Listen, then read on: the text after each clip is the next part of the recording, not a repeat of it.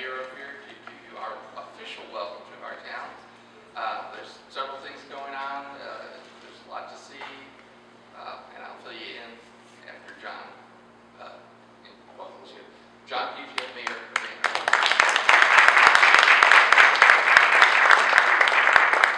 Well, thank you all very much for visiting us. Uh, You have a a fine time in store for you. I hope you get out and enjoy downtown Ann Arbor. It's, it's a very lively place, um, all the way from State Street down Liberty, and Washington, to Main Street and beyond, and there's a- quite an entertainment district down there. But The special treat uh, opens tonight, and that is Arbor Summer Festival. And This isn't something we do for a weekend or four or five days. It goes on for three weeks. And then we have a brief respite here in our city, and then we start the nation's largest outdoor art fair, which comes up in July. But tonight is the beginning of something called, we call the Top of the Park, and it's, it's in a beautiful park setting, with the back of it, there's a fountain, and you take over a street, you put up a stage, and local bands, bands from Chicago, bands from far and wide will play there. Later on at night, actually, now they won't tonight, because tonight's all music, uh, during the week, they show movies late, uh, and so everybody likes to go out there. There's food courts, there's everything you can do. And then there's a series, if you're in town, uh, we also have a series of indoor concerts that go on as part of the Summerfest. Bonnie Raitt was here um, at the preview concert a few weeks ago. Uh, just some, Al Green's going to be here. Uh, just some great acts are going to be in town. There's all kinds of great things going on at the Summer Festival.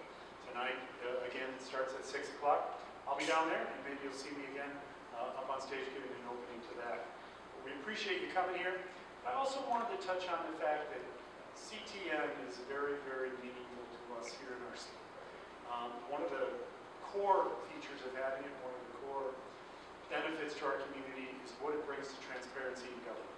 Our boards and commissions, all the way Disabilities Board the Planning Commission, and certainly the City Council, are all on television. Uh, The Historic District Commission, anything that you can name, um, it's out there, it's, it's available for our people, not only to see on the night of the, of the committee meeting, but also as an archival reference that you can go back and see exactly what happened. Um, it's possible to go to CTN and check all that out. CTN goes way beyond that. Last uh, Friday night, Ann Arbor is a very environmental community, one of the leading cities in the nation in energy conservation, pretty much anything to do with environmental. We uh, produce 20% of the energy to run city government is renewable energy. Uh, one of the top cities in the nation, again, with that stat. All of this is covered by CTN. Last Friday night, I hosted the Mayor's Green Fair on Main Street, where we turned over three blocks. CTN was there. When you, when you go to the Summerfest tonight, you're likely to see somebody from CTN interviewing people, uh, children in particular, about how they enjoy it. The, the art fair, again, the largest in the nation, that's going to take place here in July. CTN will be there with their booth. And citizens can just walk up and, and, and some of the cutest footage you'll ever see and tell CTN why they think the art fair is important, how much fun they're having. Uh, when something's happening at the city, our people know about it.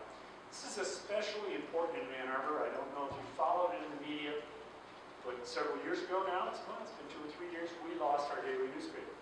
And we were sort of a media experiment. Uh, and something they're talking about down in, down in New Orleans now. Our newspaper is now online. It comes out with, an, with a paper version on Thursdays and Sundays, but it's really just a rehash of what was online. We missed our daily paper because we found a gap in our citizens knowing what's going on. How do we get the word out about something that's happening? Uh, there's road construction going on all over Ann Arbor right now. We're repairing our roads and one of our major bridges.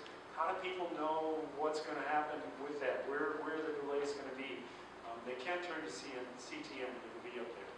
So they're helping to fill in that void, helping our people to know what's going on. And again, it's, uh, for us, uh, vitally important that we have this resource here, that we have good people at CTN to help us get the word out about what is happening in our city.